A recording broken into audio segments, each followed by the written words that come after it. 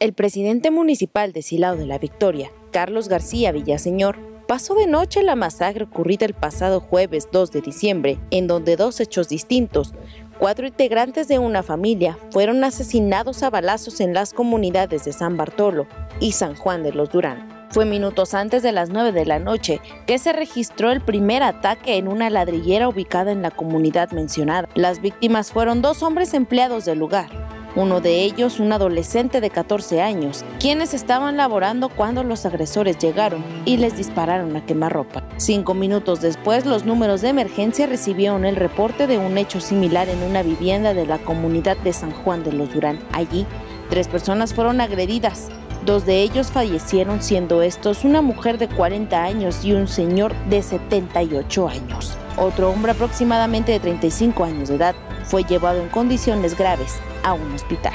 Este hecho volvió a poner en el ojo del huracán al municipio, pues en menos de un mes es la tercera masacre ocurrida, donde también hubo menores de edad afectados. No obstante, aunque la página del municipio de Silao estuvo activa en cuanto a contenido, las autoridades no compartieron ninguna postura al respecto. Este lunes 6 de diciembre, durante su conferencia de prensa, el presidente municipal pasó de noche el acontecimiento sin mencionar una sola declaración al respecto, además de que el recién llegado secretario de Seguridad, Felipe Hernández, volvió a brillar por su ausencia.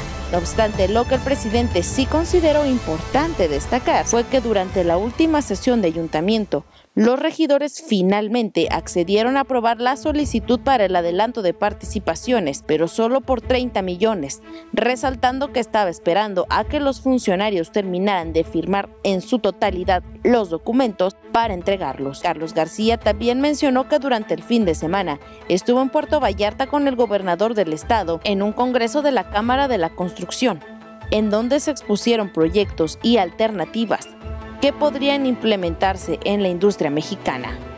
Para el sistema de noticias de TV Libertad con imágenes de Mariana Zárate, informó Noreima Castillo.